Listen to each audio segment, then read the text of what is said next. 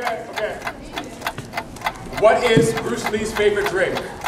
Couple home gal.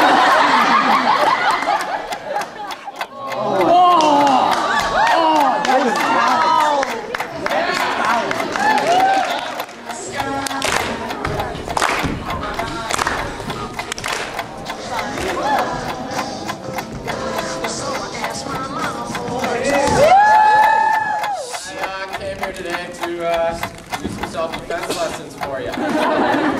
this is the self-defense where Dylan gets really mad at me because I threw something at him and he goes, Corey, you stupid idiot. And he goes and escapes that